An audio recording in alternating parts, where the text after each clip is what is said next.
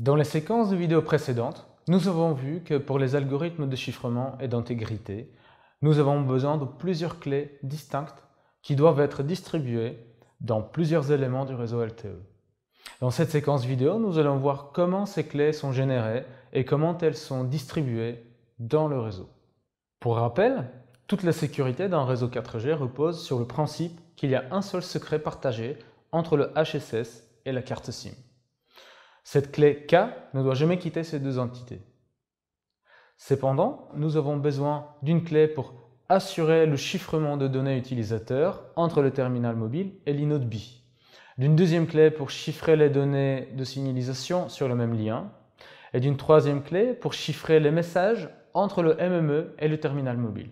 Pour assurer l'intégrité des messages de signalisation, nous avons besoin d'une clé afin de protéger les échanges entre le terminal mobile et l'inode B, et d'une deuxième pour protéger les échanges entre le terminal mobile et le MME. Cela fait donc bien plus que notre secret partagé K, et en plus, cela nécessite la distribution de ces clés partout dans le réseau. En effet, grâce aux échanges protocolaires entre la carte SIM et le HSS, puis entre le terminal mobile et le MME, le réseau et le terminal vont générer toutes les clés nécessaires en partant du secret partagé K, qui lui ne quittera jamais le HSS et la carte SIM. Comme la génération de toutes les clés demandées nécessite l'utilisation ou la connaissance du secret K, on pourrait imaginer que ce soit le HSS qui les génère et qui les distribue lui-même. Ceci pose un problème de passage à l'échelle du système. À chaque changement d'un inode B ou du MME, le HSS doit être contacté pour générer des nouvelles clés. Pour éviter cela, le HSS délègue la génération des clés au MME du réseau dans lequel se trouve actuellement l'abonné. Lors des premiers échanges, le HSS génère une clé appelée CASM, où ASM vient de Access Security Management Entity. Cette clé est ensuite envoyée au MME, responsable pour la communication avec le terminal mobile.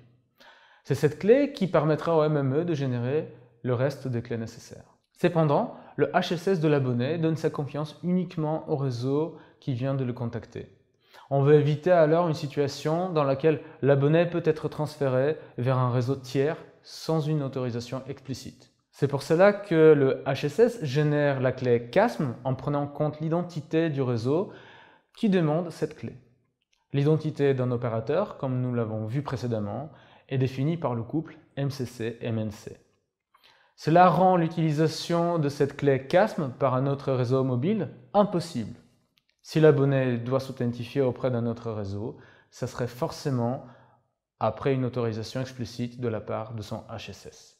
Suite aux échanges avec le terminal mobile, le MME génère une autre clé, la KInode à la base de la clé CASM. C'est cette clé qui est donnée à l'inode actuel auquel s'attache le terminal mobile. Au sein du terminal mobile, la carte SIM génère la clé CASM, qu'elle passe au terminal mobile lui-même, qui en en déduit la KInode Les clés CASM et KInode ne sont pas utilisées directement pour protéger les échanges.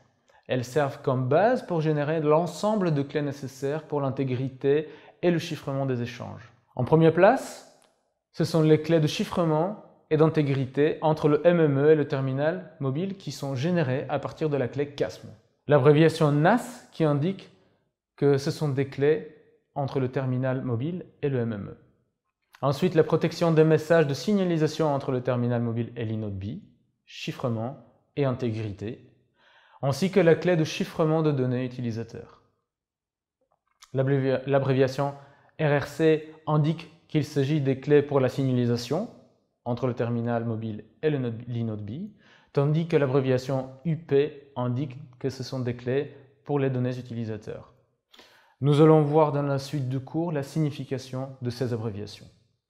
Mais quel est le mécanisme avec lequel on peut dériver ces clés et en construire une telle hiérarchie? En effet, cette hiérarchie de clés est construite à la base d'une utilisation ingénieuse des fonctions cryptographiques de hachage. Une telle fonction prend en paramètre une clé secrète et des données à hacher. Comme la sortie est d'une taille fixe, et grâce aux propriétés des fonctions cryptographiques de hachage, la sortie peut être elle-même traitée comme une clé. Ensuite, la clé CASM est calculée en utilisant le secret K, et en prenant en entrée le nombre aléatoire rand, l'identifiant de l'opérateur et le numéro SQN. La clé CASM à son tour sert comme secret partagé pour générer la clé B, et ainsi de suite pour la génération de la hiérarchie complète qui sert à protéger les échanges entre le terminal et le réseau.